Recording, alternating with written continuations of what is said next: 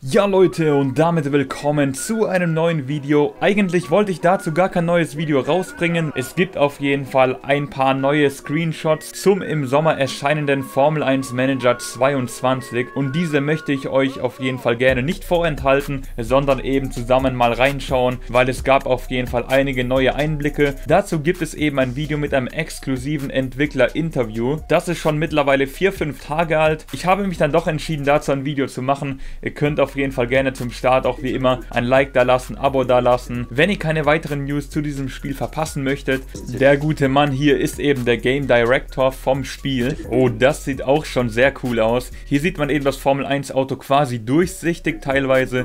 Sehr interessant. Was eben auch schon natürlich angekündigt wurde, dass es eben voll lizenziert ist mit der kompletten Formel 1 Lizenz, allen Fahrern, allen Teams. Oh, jetzt kommen die ersten sehr interessanten Bilder. Der Entwickler hat eben gesagt, dass sie sehr viele reale Daten verwendet haben haben, um die Strecken eben nachzubauen. Ich finde, das sieht grafisch schon sehr ordentlich aus für ein Managerspiel. Beim Managerspiel sieht man ja sowieso die Strecke eigentlich von einer etwas weiter entfernten Perspektive. Es kann ja auch sogar sein, dass man vielleicht sogar eine Onboard-Perspektive hat, das wäre auch ganz geil. Bei Motorsport Manager, was ich ja aktuell gerade am Zocken bin mit einer Formel 1 2022 Mod, da ist ja die Perspektive immer von oben gewesen. Das kann ja vielleicht auch sein, dass man hier eventuell eine Onboard-Perspektive hat, aber an sich sieht das schon sehr nice aus aus ist eben hier Baku, im Hintergrund die Strecke. Mir gefällt auch dieser farbenfrohe Look, relativ hoher Kontrast, finde ich aber sehr schön. Hier auch eine andere Stelle der Strecke, sieht auch echt richtig gut aus, muss ich sagen. Also kommt schon relativ gut an das Formel 1 Spiel heran. Klar, natürlich nicht ganz auf dem Niveau grafisch, ist aber finde ich auch nicht nötig. Sie verwenden ja auch eine andere Engine als die von Codemasters. Ich glaube bei Codemasters heißt die Ego Engine oder hieß auf jeden Fall damals so vor ein paar Jahren. Ich weiß nicht, wie die aktuell heißt oder ob sie noch so heißt. Die Entwickler Frontier Games haben ja eben eine andere Game Engine. Sieht aber eigentlich ziemlich ordentlich aus, muss ich sagen. Die Bäume auch schöne Details Details erkennbar, die Strecke, sieht alles sehr nice aus. Auf jeden Fall grafisch besser als der Motorsport Manager, aber das war ja irgendwie auch zu erwarten, weil das Spiel eben deutlich älter ist als das hier. Das ist sehr cool und zwar hat der Entwickler gerade gemeint, dass sie eben die gleichen Kamerawinkel versuchen umzusetzen im Spiel, wie sie eben im TV zu sehen sind. Hier zum Beispiel die Perspektive kennt man ja glaube ich auch. Sieht aber echt nicht schlecht aus, also klar, man erkennt natürlich noch, dass es ein Spiel ist, aber kommt schon gut an das Formel 1 Spiel heran, wenn man jetzt beispielsweise so Formel 1 2016 oder 15, mit dem kann man das ungefähr grafisch vergleichen. Das ist auch sehr cool und zwar hat er gerade erklärt, dass eben die Ideallinie so ähnlich sein soll wie in Real Life oder fast exakt so, dass das natürlich auch stimmt. Es sind eben auch die echten Strecken, nicht wie beim Motorsport Manager, wo es eben nur erfundene Strecken gab, die aber zum Großteil eben den richtigen Strecken natürlich nachempfunden worden sind. Aber hier hat man eben auch die gleichen Ideallinien, Team Radio soll eben auch mit dabei sein, was auch ganz geil sein könnte.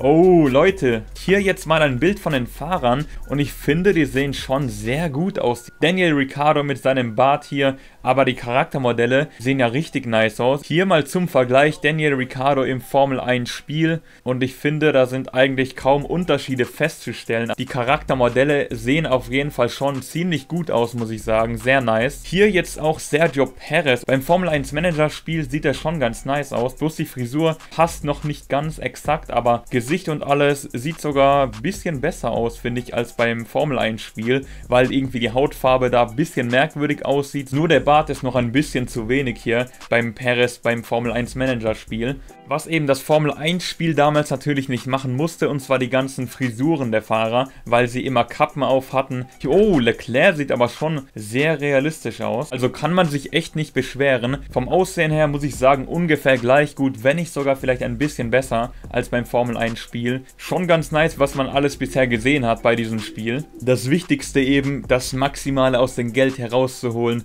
um eben ein gutes Auto und ein gutes Team drumherum aufzubauen. Regeländerungen sollen auch im Spiel enthalten sein, wenn man eben ein, zwei Saisons gefahren ist, wie es eben in Real Life auch immer mal wieder dazu kommt. Okay, das war auch sehr, sehr wichtig, aber war glaube ich auch schon klar. Formel 2 und Formel 3 sind natürlich auch mit dabei, mit den ganzen Fahrern. Das Spiel soll eben auch sehr sehr in die Tiefe gehen. Bin ich mal echt gespannt, also inwieweit sich das unterscheidet zum Motorsport Manager, weil da gab es eigentlich schon relativ viele Management-Aspekte, was auf jeden Fall cool war. Mehr wichtige Dinge wurden nicht wirklich gesagt, außer das, was eben schon bekannt war. Da könnt ihr auch gerne eben auch das Video anschauen, was ich schon vor dreieinhalb Wochen circa hochgeladen habe mit den ersten News. Und hier nochmal auf Twitter eine sehr frühe Version von Baku eben hier am Start. Also die Grafik könnte auf jeden Fall noch besser werden, aber das ist schön, dass man schon mal ein paar Ingame-Bilder hat. Eben die Alpha-Version, also eine ganz frühe Version des Spiels. Sollte ungefähr in drei, vier Monaten rauskommen, gehe ich mal davon aus. Es wurde ja gesagt im Sommer. Bin ich mal gespannt. Ich hoffe, dass das schon eher früher rauskommt, also vor allem vor dem Formel 1 Spiel.